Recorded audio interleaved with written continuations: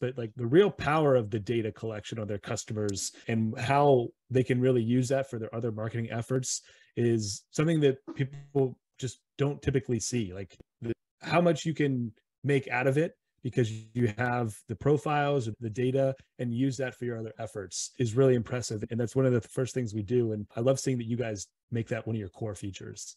Yeah absolutely. And when we look at some of our data and, this is an aggregate right across all of our across all of our customer base. And so it's going to vary from region to region from center to center but um, we mm-hmm. see that every for every email address collected, the core value, when used through our platform at least, that's not even to say using using it, leveraging in other marketing avenues and tools, mm-hmm. but just through our platform, it's a dollar of annual revenue for every email address collected that you'll be able to okay. get. You may not have ever had that. Every birthday collected with an email address is five dollars of revenue. Okay. And that's and, that's because not everybody who's going to get information about booking a party is going to book a party, but right. aggregate by collecting those email addresses, by collecting those birthdays, and then doing something about it, sending something mm-hmm. actionable is another is basically hey we got another birthday another five bucks added to the top line so it's pretty it's pretty cool when you really are able to leverage that customer mm-hmm. customer data Right. Yeah, and then recurring too, so it keeps keeps coming every year. Oh yeah, this isn't like one time five dollars. It's going to keep coming right. every year, and the goal ultimately is to increase the overall per cap of that visit when they come in the door, mm-hmm. but then also increase the number of visits. So your total lifetime value of that customer that you've spent money to right. acquire. Yep. You now your return on that investment to to capture that customer up front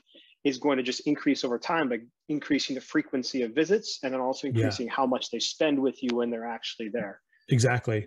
Yeah. And then not only that, but it's free to reach out to an email. Whereas if you're using other methods like Facebook and Google Ads, which we do recommend, but every time you want to communicate through that, you got to pay for it. Whereas this, like yeah. once you have it, it's yours. Hey, did you like this video? Great. We make five of them a week. Subscribe to get more and to keep learning about what's working in the bowling industry. I'll talk to you then.